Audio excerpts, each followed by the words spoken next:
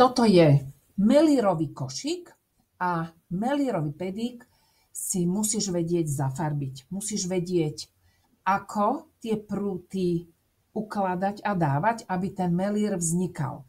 Takisto potrebuješ vedieť, ako tie prúty zafarbiť tak, aby sa ti ten melír vytváral. Pretože ak nebudeš vedieť tieto základné zákonitosti pletenia melírovým pedigom, tak sa ti môže stať, že sa ti nebude ten melír striedať, ale že ti bude vytvárať také rovnaké vzorce.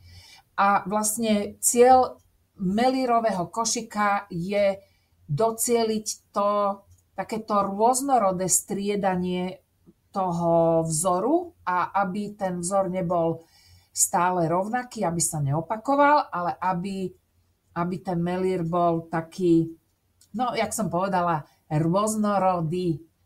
Takže ja si teraz takto navlhčím trošička tie prúty. Samozrejme, ruky budeš mať modré, alebo teda budeš ich mať podľa tej farby, akou farbou si budeš e, ten košik pliesť, ale to sa dá potom umyť, to je v pohode.